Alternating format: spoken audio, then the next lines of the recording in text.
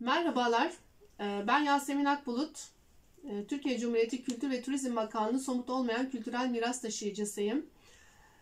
Pandemi dolayısıyla yaşadığımız sorunlarımızı e, tüm Türkiye'deki sanatçı dostlarımızla birlikte e, sosyal medya üzerinde kurduğumuz bir platformdan sesimizi duyurmaya çalışıyoruz. İşleyen ellerimizi burada e, hareketlendirmeye ve gündemde tutmaya çalışıyoruz.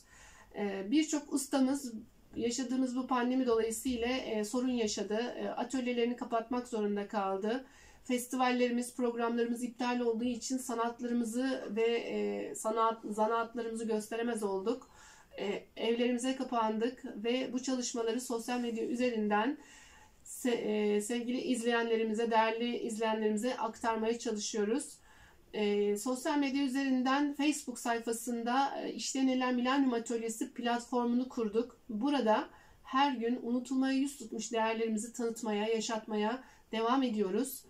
E, saat 16'da yayınlarımız başlıyor. E, değerli ustalarımız yayınlarda, e, canlı yayınlarımızda sanatlarınızı, sanatlarını tanıtıyorlar her gün. E, e, tarihi bilgilerini, e, yapım aşamalarını e, bilgi olarak veriyorlar ve bu şekilde 7 aydır bu programı sürdürüyoruz.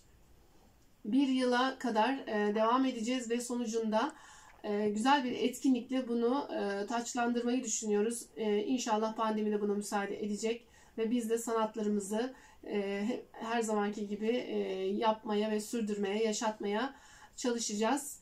E, buradan bizlere destek olan tüm e, sanatsever dostlara, yöneticilerimize, idarecilerimize ve e, bizim bu yayınımızı paylaşan, sesimizi duyurmaya çalışan değerli e, basın ekibimize teşekkür ediyoruz.